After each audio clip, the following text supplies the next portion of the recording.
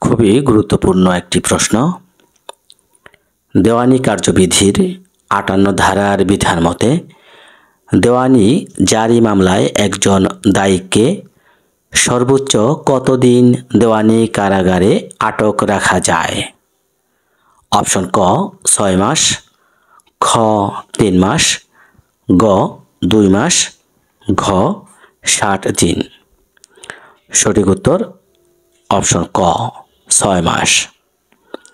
দেওয়ানি কার্যবিধির আটান্ন ধারার বিধান মতে, দেওয়ানি জারি মামলায় একজন দায়ীকে সর্বোচ্চ ছয় মাস পর্যন্ত দেওয়ানি কারাগারে আটক রাখার বিধান করা হয়েছে।